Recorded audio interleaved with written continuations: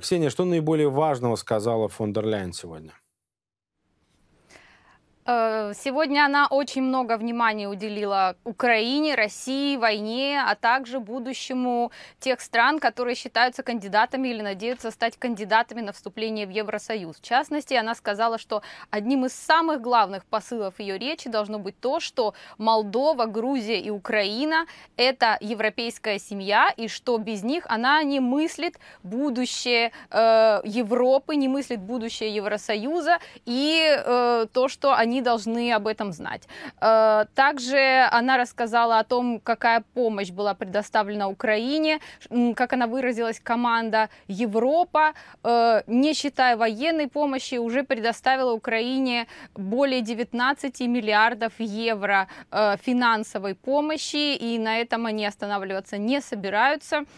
Зал приветствовал решение аплодисментами. Ну а кроме того, она еще раз напомнила России, что санкции в ее отношении в связи с военной агрессией в Украине никто отменять не собирается, они остаются в силе, и что сейчас самое главное – это солидарность Европы в этом отношении, и ни в коем случае не идти на уступки, несмотря на повышение цен на газ, электричество, и в связи с этим она также предложила, вернее, э, еще раз представила пакет Еврокомиссии, пакет мер, который включает в себя 140 э, миллиардов евро э, подушки для потребителей, за счет чего будут выиграны эти средства, за счет налога на сверхприбыль тех компаний, которые э, получили огромную выгоду за счет э, повышения цен на энергоносители и компании, себестоимость производства энергии для которых была достаточно низкой.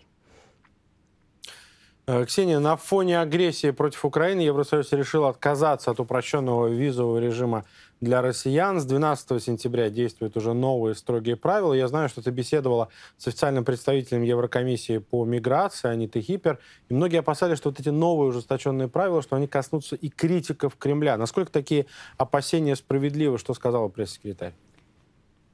А, она сказала, что эти опасения не обоснованы, потому что, несмотря на то, что правила уже не облегченные, именно для такой категории желающих приехать в Евросоюз э, будут делаться исключения. В эту категорию входят диссиденты, независимые журналисты, которые критикуют Кремль, либо какие-то гуманитарные э, ситуации, например, когда люди просят, вынуждены просить политического убежища. Она подчеркнула, что э, в данном случае э, существуют рекомендации Евросоюза, Еврокомиссии, и э, это международные правила, когда людям нельзя отказывать в рассмотрении э, таких заявок. Ну а кроме того, то, что страны вольны в каждом случае индивидуально решать, э, помогать человеку, облегчать ему въезд или нет. Ксения, ну вот отдельные страны ЕС, они решили не пускать к себе даже тех россиян, у кого есть действующая шенгенская виза, если она выдана э, в другой стране. Насколько с этим вообще согласны в Брюсселе? Потому что все-таки Евросоюз э, от э, выдачи виз россиянам, в том числе туристических, не отказался.